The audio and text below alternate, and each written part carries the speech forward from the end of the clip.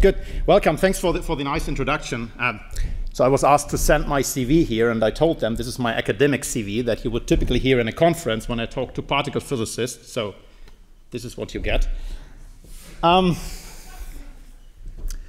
so I will talk about a topic, and the, the original email that reached me from ZKM, I, originally I thought it was spam because it was so spot on on what I researched, but it was not coming from my typical colleagues.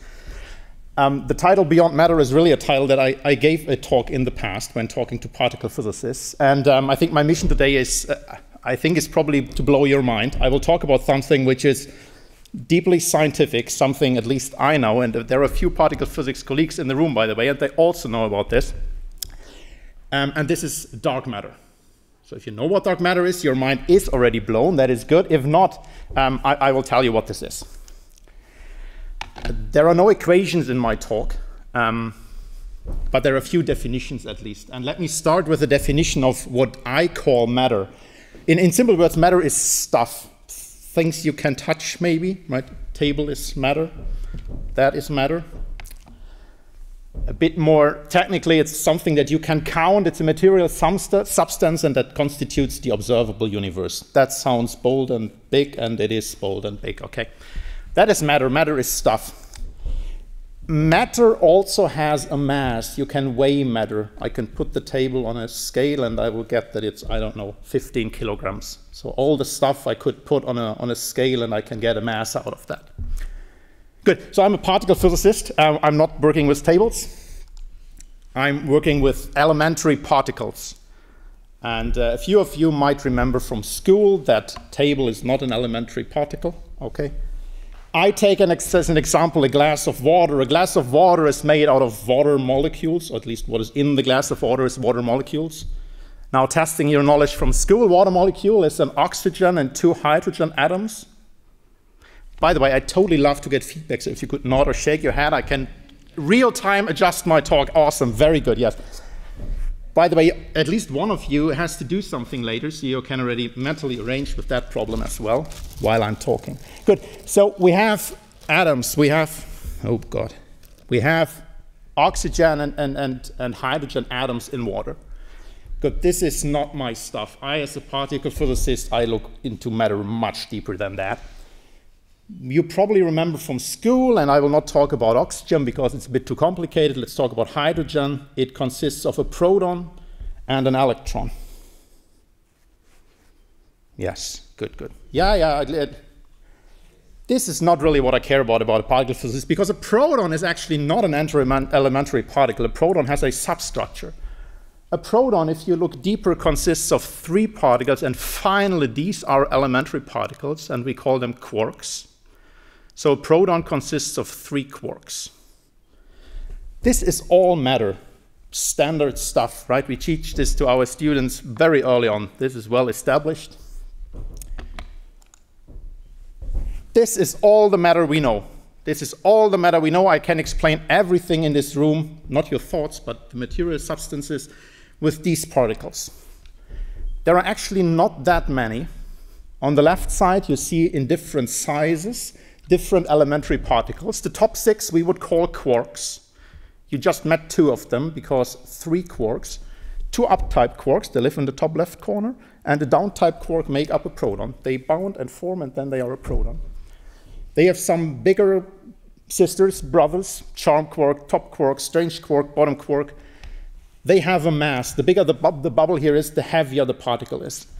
The top quark, for example, on the top right is something we can artificially produce at particle accelerators. It has the mass of a gold atom, but it's a fundamental particle. We don't know how this is possible, but it is possible. We can observe it. And then we have a few other particles on the right side. Uh, we just had a discussion before this talk, and people heard about the Higgs boson. So this is also there on the, on the, on the right, also very heavy particle, but these are all the particles we know to explain all the matter in the universe. And I, I told you, I think, in, in, in passing that antimatter is boring. I thought it's just too boring for this talk. Antimatter is mysterious, but it's nothing very special. Antimatter is exactly the same. And now for the physicists in the room, just all quantum numbers are flipped. So an electrically positively charged particle, matter particle, will have the opposite charge as an antimatter particle. They don't exist here in that room in large quantities, but we can easily produce them in our lab. There is not that much magic to it. Good. So this is what I'm not talking about. And now, get ready to have your mind blown. Um, I have to introduce a few things. The first thing is that I assume that most of you have a totally wrong understanding of our universe and the fact how empty our universe actually is. So I will show you how empty our universe actually is because you have to understand this if you want to understand dark matter. Good.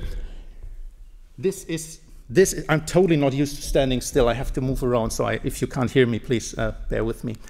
This is Earth. Okay, we live on Earth. Earth is made out of stuff. It's certainly matter. It has a radius of six and a half thousand kilometers. Sounds pretty big. I can tell you it's a bloodily boring small. And if you look at the universe, the Earth is absolutely irrelevant. I will come to this in a second. And you can calculate the volume, assuming that this is a sphere, and you can also weigh the Earth, not by putting it on a scale, but by observing how it observes when it rotates around the sun, okay? And the Earth is a pretty dense object. It is five grams per cubic centimeter, if you remember the glass of water. Water has a density of one gram per cubic centimeter. Earth is mostly made out of stone, iron core. It's a pretty heavy, very dense object. That is Earth. Good. Now, the problem starts that you probably have seen images like that in school, and you think this is our solar system. Good. I mean, th yeah, this is our solar system, but it's a very artistic representation of our solar system. And the problem with this is it gets the dimensions completely wrong. Good. And now you have to pay attention because I will now show you how it really looks like. So everything I show you now is really in scale. So I put the sun, this is now the sun. The sun is actually quite big and massive, so this is a dimension that starts to impress me. The sun density, however, is much lower than the sun than the Earth density. Right? The sun would almost swim on water, not quite, but almost. This is this is the sun, and now on, on the bottom you see the distance from the sun in one million kilometer steps. I just let it sink for a second. I have no idea where you live, but a million kilometers is pretty far already. Okay, the sun is pretty big. Now, school knowledge, what is the next thing after sun that comes in our solar system? There's Venus, there's also Mercury. Mercury is, is, the, is the correct answer here. So, see if you can spot Mercury. I will now move through the solar system in steps of about 4 million kilometer steps. Remind you, we're waiting for Mercury to pop up, right? Big thing. So up to here, a light from the sun has traveled one minute. There is bloody nothing, okay? It's just empty space. Are you still with me? Remember Mercury? Have you seen it yet?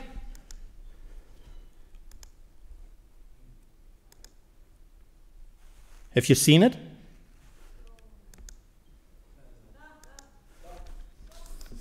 Okay, that's actually bad. That camera has that good projectors that you can actually see Mercury. Usually you would never see this.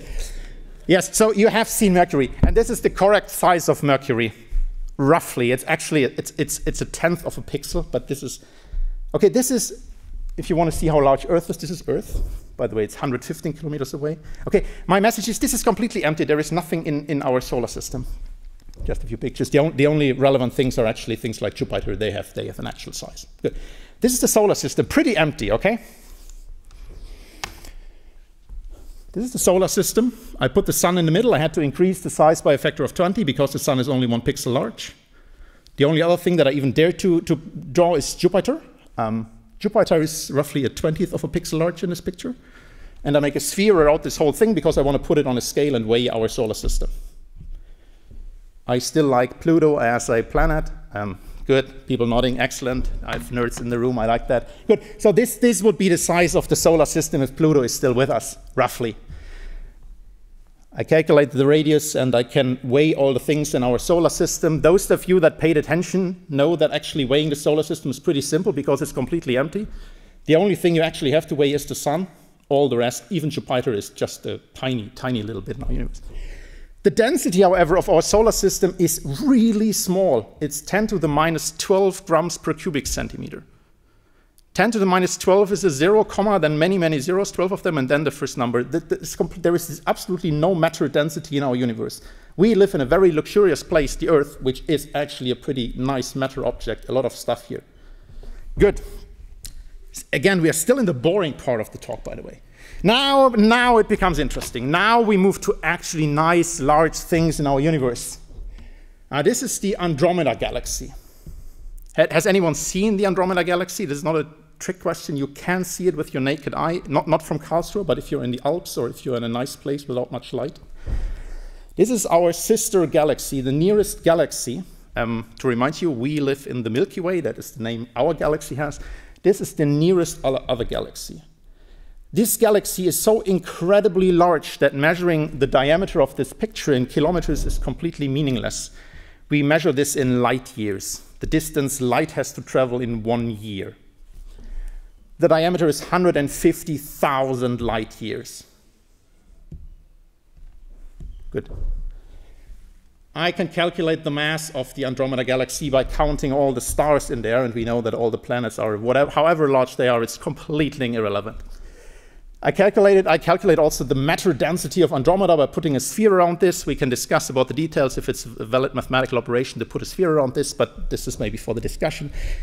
The density now is 10 to the minus 25 grams per cubic centimeter. The thing is completely empty. It looks beautiful. It looks like there is a lot of stuff going on. But actually, there is nothing. These are just the stars that we can see, and our instruments are not precise enough to actually resolve them. Good. This is the Andromeda galaxy. And now the problem starts. Actually, this is the solution of the problem. So this is Vera Rubin. Um, this is her sitting in her lab in the 1970s. She looked at the Andromeda galaxy and she picked a few stars in the Andromeda galaxy and calculated how fast they rotate around the center of the Andromeda galaxy. Our Milky Way is a rotating galaxy, Andromeda is also a rotating galaxy. You see in black points uh, what she, what, which stars she picked and measured. And the money plot, as we call this, she wanted to produce is this. On this axis of the plot, you see the distance from the center of the Andromeda galaxy. So on the very left side, you're at the very center of the nice rotating Andromeda galaxy. On the very right side, you are very far out in the Andromeda galaxy. All the stars are rotating around a massive black hole in the center, which is then shown on the y-axis, is how far you, fast you rotate around the center. You have been at, at, a, at, at a, um, at a Kettenkarussell, for example, right? If you're very far out and still want to stay somehow in here, you cannot rotate too fast. If you are on the outside of the Andromeda galaxy and rotate too fast, you just fly away. This clearly doesn't happen because the Andromeda galaxy is there. So if you're close to the center, we expect that things rotate fast. If you're far away, we expect that things rotate slow, roughly the red curve. Let's measure this And this really means nature is broken. Okay, this is absolutely not what we expected. The very left part of the plot is a little bit hard to get right because there is a black hole, topic for another talk. On the right side, you see, however, that even stars that are very far away from the center can rotate very quick and are not flying away. Oh, this is, uh, this is, to this is totally mind blowing. This should never, never have happened. Okay, fine. Why would I care about the Andromeda galaxy? It's just one thing in the universe. Now, it's actually much harder to measure this in the Milky Way. Um, the problem is, if you want to measure this in the Milky Way, is that we are part of the Milky Way. We are rot rotating in this mass of stars. But now, with good instruments, we can do the same measurement for our Milky Way, same meaning of the x-axis, by the way, the Earth is much smaller than this. Uh, we are roughly, by the way, if you draw galaxies, you typically don't even measure light years. You change to an even crazier unit, which is kiloparsecs. One kiloparsec is 3,000 light years. These dimensions are, are mind blowing, okay? We are at roughly 8 kiloparsecs, and you see it's the same pattern. Stars that are far away from the center in the Milky Way are rotating very fast around the center.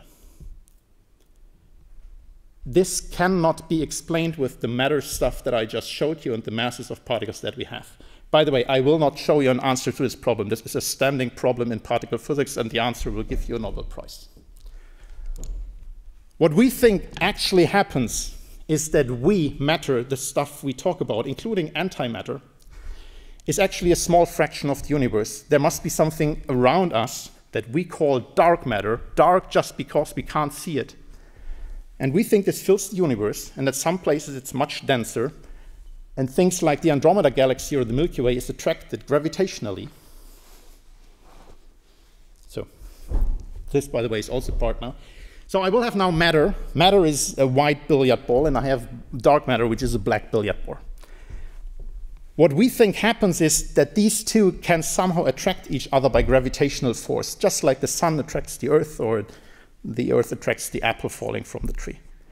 If you want to make sure that things rotating far away from the center stay intact, you have to put something very heavy in, in the middle part, something very heavy that is not visible because clearly there are no stars. They, the stars do not account for all the matter. And the crazy thing is, it's not a small thing. We actually have to put four times more dark matter in the center of our galaxies than we have normal matter to explain the rotations. Mind's blown yet or not? A little bit? Good. This is my favorite picture of, of science right now. This is not a real picture, it is a simulation. Um, but this is a simulation where we think our universe really looks like. What you see here is starting from the Big Bang, it was simulated how matter and dark matter, assuming gravitational interaction, actually develops. All the black lines are densities of dark matter. Everything that is yellow and looks nice is where there's also normal matter.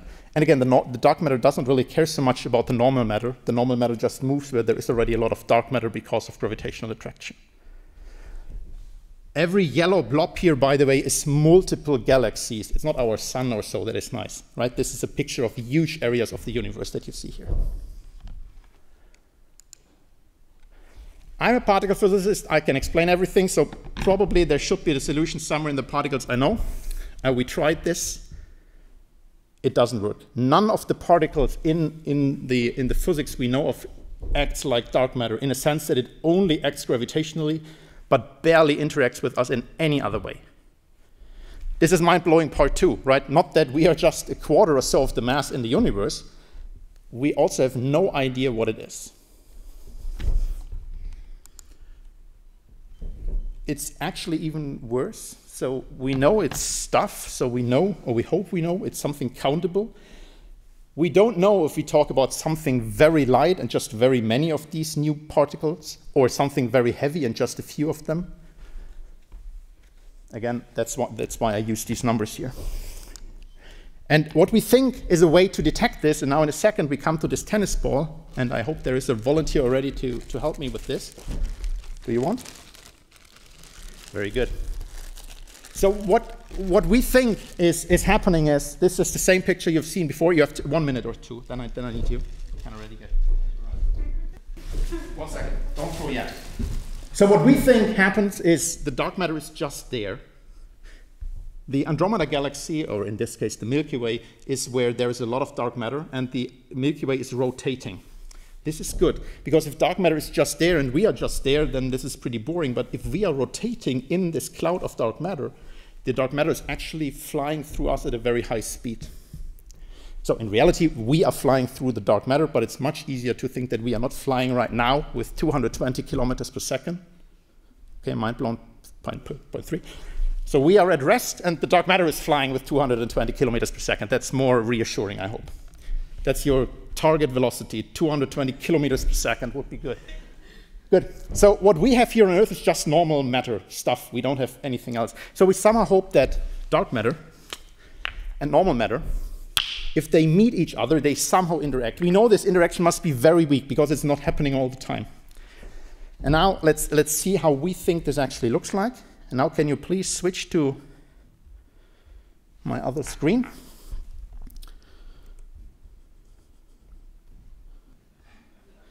So the idea we have to find dark matter, very good, is we put something in the way of the dark matter where we want to detect the interaction. So we want to see the bangs of dark matter particles with normal matter particles. We already know that this is a very hard thing to do because it rarely interacts. So good solution is put a lot of matter in the way of, of the individual dark matter particles. And this is what we tried here. So in reality, we are not using tennis balls, okay? In reality, we are using very expensive, for example, silicon crystals that we cool down to very low temperatures because one problem you're already seeing, you see here the readout of our sensor. The sensor is attached to the back, by the way. Things are wobbling around. There is noise, there is random fluctuation. And now you, I will not move anymore. You can try to hit our detector with dark matter. Please now. Yeah, don't hit me too hard. 220 kilometers per second. Okay, very good. But you, but you already see what happens, okay? So the sensor is attached somewhere. We have a lot of possible targets for, dark, for dark matter. Thanks a lot. Um, when you hit this, you see these signals. And this is what we're trying to do. Um, can you switch the screen again, please? Good. So we don't have tennis balls, but we have massive detectors. What you see here on the, on the right side are actually is, these are three stories of purification system, readout systems. On the left side, you see our actual dark matter detector that is larger than this, than this lecture hall here. In order to shield this from everything else, right, we want to see the single, very rarely interacting dark matter particles in these detectors. We do many things. First thing is we cool this down to absolute zero or near absolute zero to remove any vibration. This is happening here on the, on the left part. We surround the whole thing with ultra pure water to make sure that we understand everything that's going on in there. We actually put this thing deep underground. This thing is sitting in Italy, roughly one kilometer under a mountain. You feel like James Bond going there, because there is actually a highway, and there is a highway exit under the mountain, and you exit and you are in the lab. So we are waiting for these rare dark matter particles hitting out the inner part of our detectors and trying to read this out. So far, we have not seen dark matter with this technique. Um, we haven't given up. We built these things larger, even more sensitive. Right? This question, we, there is four times dark matter than matter. We somehow have to find this.